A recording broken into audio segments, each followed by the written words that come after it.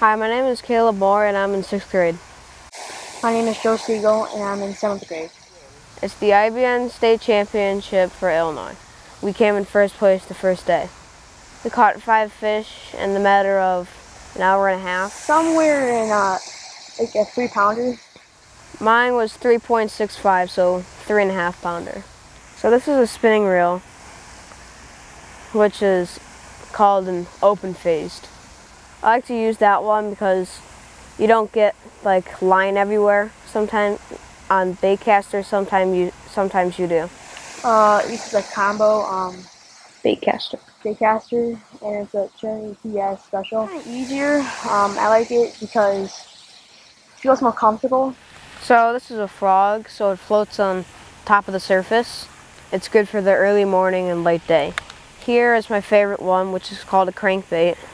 You just reel it in and throw it back.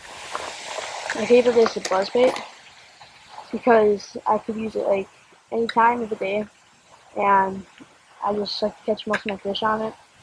Um, the most important skill is to know where the what the fish are want to bite, and um, just to um, see and just throw out different baits just to see what they're biting on. I think the most important skill to fishing is patience because you have to let the fish eat that bait before you even think about setting the hook.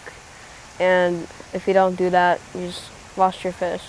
Our next competition is in October and it's in Tennessee. It's Bassmasters Nationals Monsignor.